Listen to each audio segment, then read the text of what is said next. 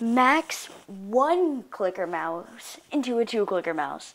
So first of all, these are the mice that have been coming out in the I don't know last couple years. I'll uh, take a I'll pull up a picture to show you. It is that mouse right there. Um yeah.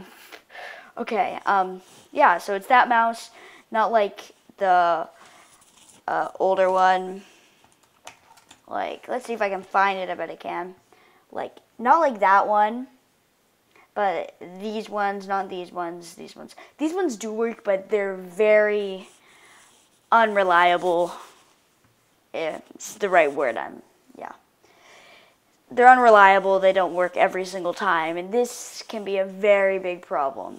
So, First thing you need to do is go up to the little search bar, type in system preferences, or you can always just go up here and just move this. You can always go up here and um, system preferences is just right there, so it's pretty easy.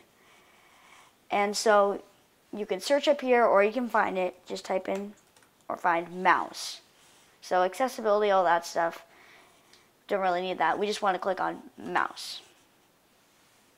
Alright, So all this stuff you don't really these things don't really matter. Now, tracking is actually semi interesting. So we just this is how this just like is how fast it moves. Like this is the same as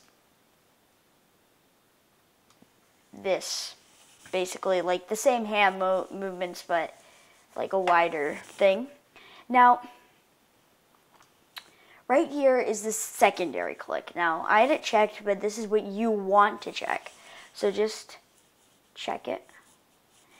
And you can make it on the left side if you want. See, I'm left clicking right now, and now I'm right clicking.